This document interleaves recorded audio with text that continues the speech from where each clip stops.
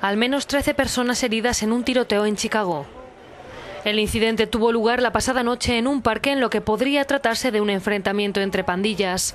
Tres de las víctimas, entre ellas un niño que recibió un disparo en la cabeza, fueron trasladados al hospital en estado grave. Creo que ha sido con una Kalashnikov. Hubo una gran cantidad de disparos. Yo diría que como nueve o diez personas fueron disparadas. Un niño fue disparado en la cara. No sé si todavía está vivo, no sé cómo se encuentra. El Departamento de Policía de la ciudad ha incrementado las patrullas en los barrios más afectados por esta ola de violencia. Según datos del FBI, la violencia en Chicago no ha hecho más que incrementar en los últimos años. Solo en 2012 hubo más de 500 asesinatos a punta de pistola.